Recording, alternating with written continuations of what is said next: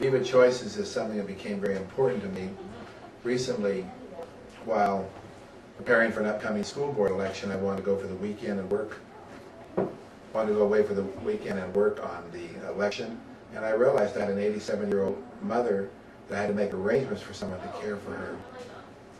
In doing that, I now know that I can have Viva step in and take care of that as I get involved with life running on the, the school board and the other things that I do. I feel very comfortable that she will give adequate care. I will be able to do the things that I need to do, and the Viva choices will always be there for me.